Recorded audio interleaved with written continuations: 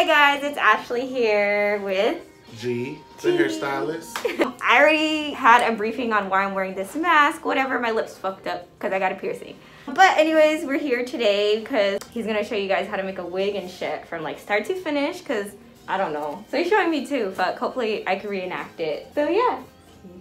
So we're gonna start with teaching how to bleach the knots on the frontal. So for the bleaching of this frontal, what you will need is, of course, your frontal, a mixing bowl for your product, a lightener of your choice. Mine, of course, is Schwarzkopf. I like to use 20 Developer because it's a slower process and it's guaranteed to lift every knot. And I like to use hairspray to hold the baby hairs back. Along with that, you'll need a whisk to mix up your product and some spatulas. I don't use brushes because brushes soak up the product. These actually distribute the product evenly. And a few pieces of foil for when you're done to process your lightener. All right guys, so what we're gonna do is we're just gonna start by spraying your frontal down with hairspray. Turn your frontal around and then you start mixing your product. So now what we're going to do is you're gonna take your liner,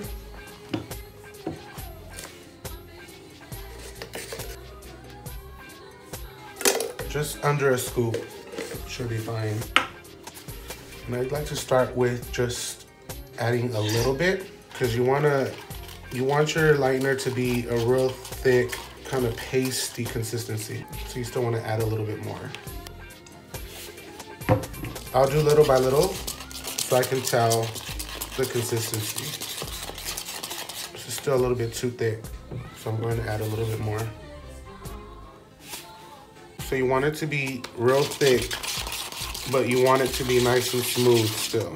So keep mixing until all the lumps and clumps of lightener are out. Once you get it to the consistency that you need, you take your spatula, just mix it up a little bit more, and then you just start by spreading it.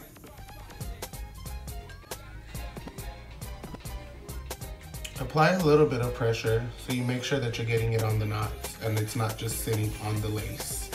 And I like to use the big spatula because it gets more product on. I like to use a smaller one to get it into the spaces that I need to get it into and for the hairline especially. Once you've got the majority of your frontal covered, then you go in with the smaller spatula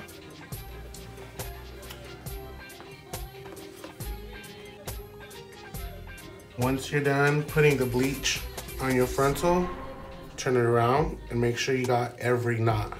And as you can see, there's still some that I didn't get. So you will go in and reapply that to make sure you've got every knot. So you're gonna go in and get whatever you didn't get before, because you wanna make sure all these knots become invisible. That's how you get a flawless, natural looking, what lace type of hairline. All right, once you're done going through and checking all your knots and you're happy with your application, you're going to get your foil.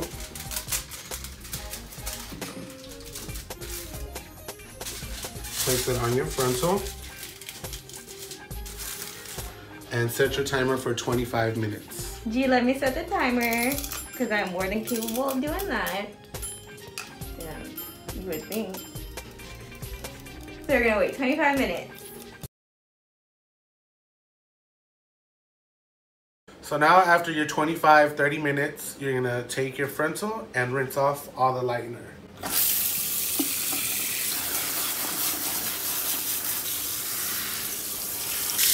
Just gonna look to see how the knots are looking.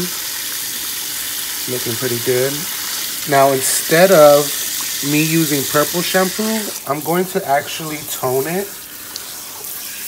I don't really like the the result that I get from purple shampoo, so I'm going to tone it with a 10 or 9A. So now what I'm going to do is I'm going to take some 10-1 from Wella to tone the knots on this frontal. And the only reason why I like to use toner instead of purple shampoo is because purple shampoo really does not take out the brassiness in the knots like toner would actually do. So what I'm doing now is just taking a little bit of the 10A and putting it in the bowl. You don't want to use too much because you don't want to waste product. So I'm just squeezing out the rest of what's in here. Which like I said, you don't need much. Okay, so as you can tell, I didn't use much, but it's gonna work. Gonna take a little bit of a 10 developer because you don't need a high developer for this. You're only toning. And you just mix it up. And remember, it's 10A. 10A is gonna knock out that brass, that orange. If you want to tone with the 10B, 10B will knock out any yellow, and that's gonna give you a more white looking root. So now what I'm going to do is I'm just gonna take the toner and just put it all over the lace underneath. Cause you wanna knock out that brass. Nobody's, nobody's scalp is orange. Like I said, you don't wanna use a lot cause you don't wanna waste product. Wasting product is a waste of money. There you have it. Then you're gonna let this sit for about 15 minutes until it, you see all the brass come out.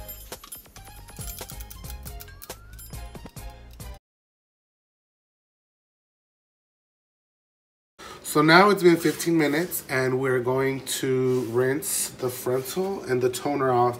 And the reason why I like to use toner um, as opposed to purple shampoo is because toner will actually get the brassiness that you need out and give you that realistic scalp look. As you can see, there's no brass, just invisible knots. So we're gonna rinse it.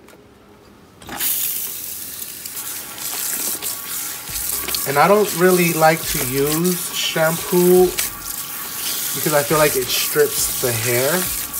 But for frontals, I will use Olaplex shampoo.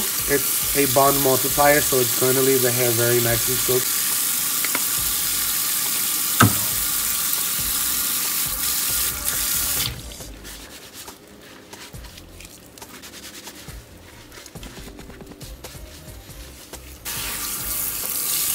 Now I'm gonna take some Olaplex conditioner, number five. And with this product, a little goes a long way. And as you can see, knots are pretty invisible.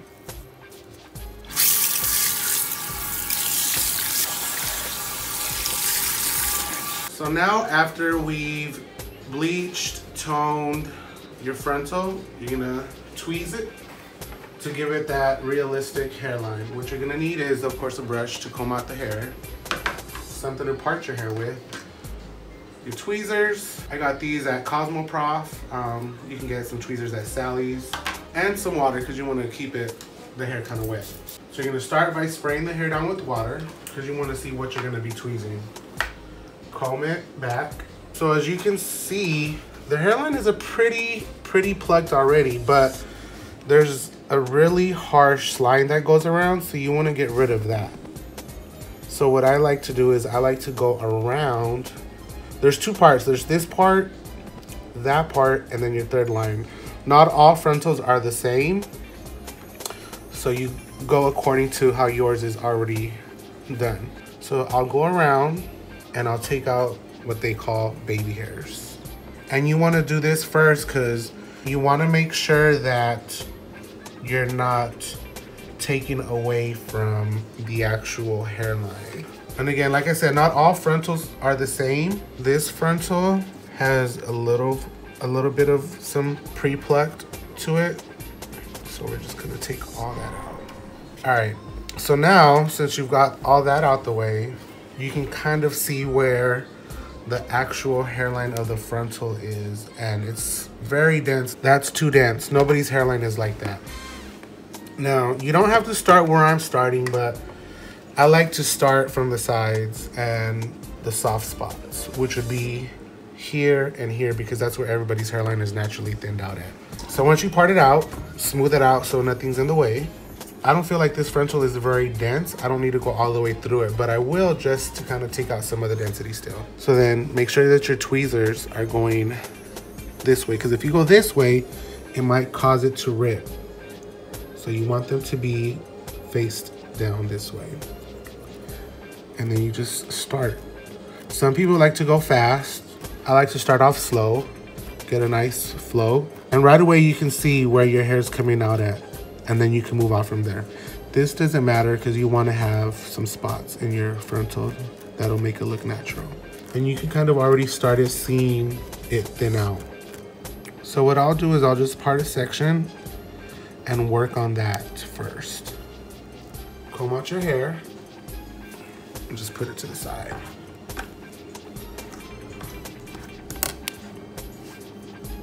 So just kind of keep working on that section for a little bit. The sides really don't need a lot of tweezing because they're already kind of thinned out, but you still want to go in and take some out because you don't want it to be too dense. Some people might say that this area right here will be too thin, but honestly, once you take the baby hairs and pull it back, it gives you that naturalness that you need in there. I mean, we still mm. haven't plucked the front part, but as you can see, like it's already looking nice and blended as opposed to this area where it still looks full and unnatural. Yeah, so you guys know like when you're plucking, it's it's normal to get a lot of hair coming out. Absolutely. One thing that you want to pay attention to is once you're going in and you're customizing your frontal, as you can see, it's still kind of dense right here, but once it's, you feel like it's starting to look kind of thin and you're like, oh my God, I'm taking out too much, pull the hair forward and just continue to go back because the most of the density is in the back of the frontal. So you that's where you want it to look more natural. And wherever you see like a dense hard line is where you kind of want to go in, part it out.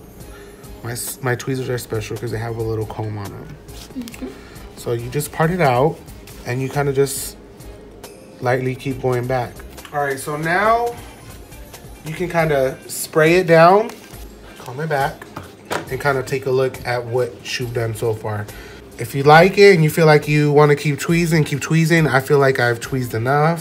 I like for it to be very nice and, and thin in the front so it looks very natural. This is to allow me to still bring down some baby hairs, lay them out however they need to be laid. So we're good to go from this point out. So now um, for the construction of the wig, you're to need your wig block, a mannequin stand, and your wig cap. You can use any wig cap that you like. You can use an actual wig cap. You can use a dome cap. It's really up to you. But for today, this is gonna be our cap of choice. Has your elastic straps. Very nice and ventilated, so you can get air through there. Your client's hair can still breathe through the braids. Once you get your wig block on your mannequin stand, you put your cap on. You're gonna want to use some pins to hold your cap in place. And I like to stretch it a little bit just to give it some, cut it some slack for when you take it off your mannequin stand. And I like to pin it at the bottom because this is a part where I'm not going to sew any tracks on, any wefts. Once you have your cap on, you want to go back in and measure so you know you have the right measurement. And so this seems like it's about right. Client's head is about 21 inches, so you that's what you're gonna measure it at. Sometimes you wanna go a little bit further just to kind of give it that space for it to contract and go back into place. So that's kind of how it's going to look for you. Take your frontal that's already been customized and you wanna lay it on your head. Bring it to the front just a little bit, passing the hairline, because ideally that's where the, the client's hairline is. And you gotta remember, this is where the ear is. This is behind the ear. You lay it on the cap and you wanna bring it down a little bit. Make sure it's center. And wherever the end part of the ear goes is where you wanna pin it because that's where you're gonna cut your frontal at. So once it's pinned, kind of look at it, see where it's at. where your ear meets with the cap. You want to turn it around and do the same on the other side. And you want to give it some tension, not too much because you don't want it to not fit your client, but you want to give it enough tension to where your frontal is laying flat all the way across your cap because you don't want no lumps. So once you get it laying flat on the other side, it's where you go and you pin it up, Right where your ear and the cap meet. So, right there. You lift up your frontal and you can see where it's at. Because eventually this is going to be cut off anyway, so you don't need that. Now, when you get to the front, your frontal's going to look a little loose in the front, but that's perfectly fine. You want it to look like that. What I do is I tend to just pin these little areas away so they're just tucked away and not in the way.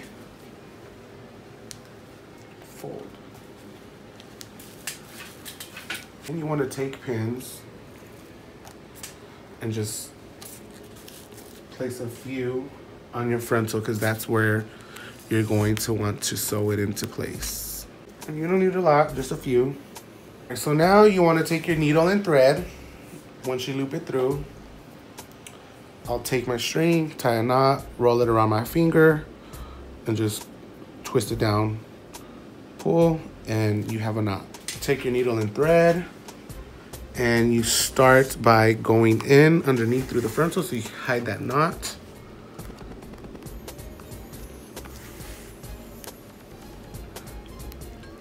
Just lock it into place. There is like saran wrap that protects the, the wig block. And sometimes I'll like pick one up with the needle, but it's okay because it's saran wrap so it easily just rips. I don't know exactly what type of stitch this is. I've been told that it's a blanket stitch, but whatever stitch this is, this is what works for reinforcement. Some people will do some extra shit and they'll go around the needle a few times. To me, that's doing too much and it creates a, a, a bulky knot. If you're consistent with your stitching and close with your stitching, you'll have a strong, secure stitch. For the frontal, you wanna make sure you stitch quite consistent throughout the whole thing because that's where you don't want any bumps, lumps, or pieces sticking out. So now, once your frontal is nicely stitched down, you're gonna go in with your bundles and we're going to be installing three bundles of Deep Wave 26, 24, 22 with a 20 inch frontal. The best way to reinforce your bundles when doing any type of install I like to sew through the weft so it's reinforced and you just pull it. I like to start up here because eventually this is going to get cut off. You got to remember, this is a strap. You do not want to sew on the strap because then there won't be they won't be able to tighten their their, win, their weight once it's on. You start. Some people say don't sew on the stitch. I, I sew on the stitch because the cap is pretty stretchable. And just how we stitch the frontal, you stitch the bundles. And since we have three bundles, I'm doubling the wefts. Now what I'm gonna do here, I'm gonna do the fold over method because we don't wanna cut the wefts. We want everything to stay intact so there's no shedding of the hair. So I separated the wefts and I went up just a tad bit. Stitch a little bit and you wanna lock it in by going in and wrapping your thread around the needle. Once you do that, you can take your needle out and your thread is in place. This is gonna separate the two, but that's what you want because you want it to be nice and flat.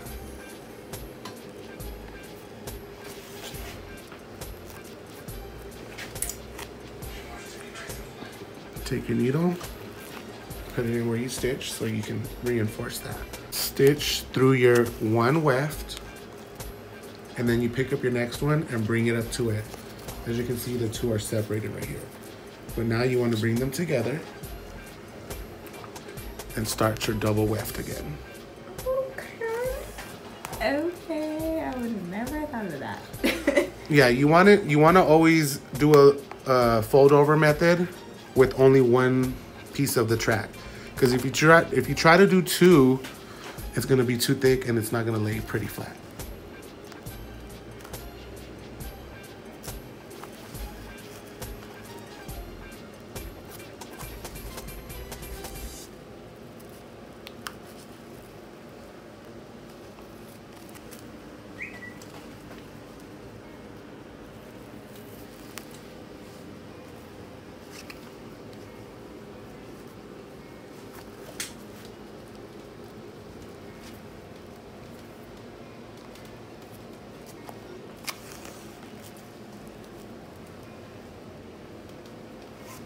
All right, so now that we are done constructing the wig, what we do is you take it off your wig block because now you're gonna cut off the ex the excess lace that was on the cap. So you want to get close, but not too close because you still want to have something for your stitching to hold on to. So that's what you would cut off. That's the part that's under the cap. This is what your wig is going to look like inside once you are done. Now it's time to apply. Mm-hmm. Install all three bundles.